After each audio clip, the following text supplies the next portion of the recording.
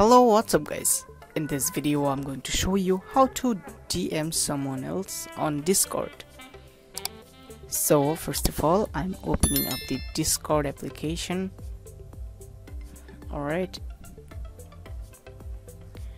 So this might take a couple of seconds to complete the starting process. Okay.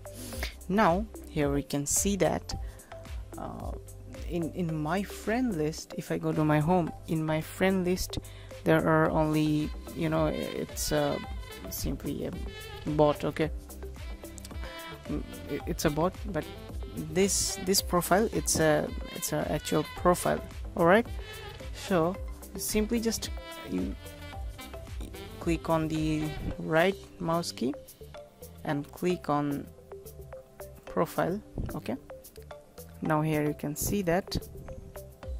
The three dot all right and click on message. So you will be able to see that this you know this DM okay? Um, and you guys can send any kind of message you want. Let me show you guys. I'm writing hello okay so that's how you can do a DM so if you want to you know uh, send him any kind of link or anything else you guys also can do that easily. Okay I'm just copying simple simply this uh, youtube.com link and then pasting and simply just sending him.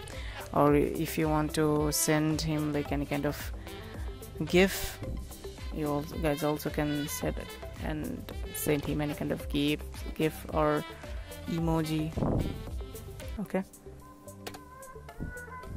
Or uh, if you want to send him any kind of photo just click on that plus icon and you can just uh, send him any kind of photos files anything else you want. Okay?